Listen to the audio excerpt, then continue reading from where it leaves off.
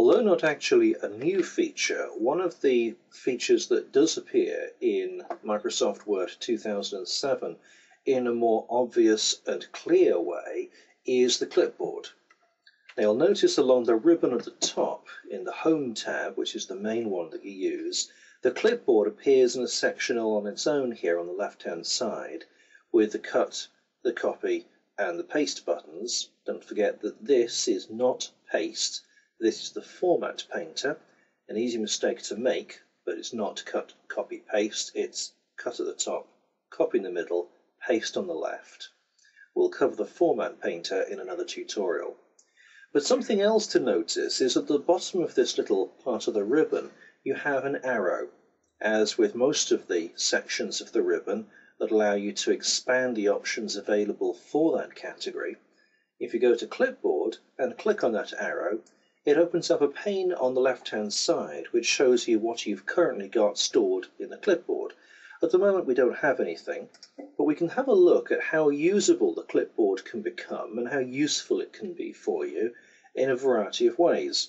Uh, let's first of all produce something that we can cut. So I'll just go to Insert. I'm going to insert a shape. We'll just choose uh, an arrow. We'll draw an arrow out. And notice that as soon as I've created a graphic here, the toolbar at the top or the ribbon changes so that I've now got the format section of the ribbon available with all the options that are available for that. So I can now choose a style, let's choose that. And then when I click off the arrow, deselect it, the ribbon goes back to the uh, standard normal uh, home part of the ribbon. Right, what I'm going to do is click on that. Again, notice that the ribbon changes at the top. And I'm going to cut that.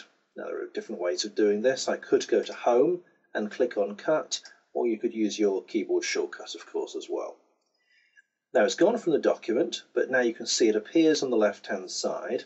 Uh, let's do something else as well. Let's perhaps type out a word that we don't like spelling very much. So there's a word that is frequently misspelt. Fortunately, what I'm going to do is just type that word out. Immediately I'm going to highlight it, and I did that by double clicking the word in the middle. So highlighted the word fortunately, and I'm going to cut that. And you see now on the left hand side, our clipboard shows us the two things that we've cut so far. Uh, let's try another word.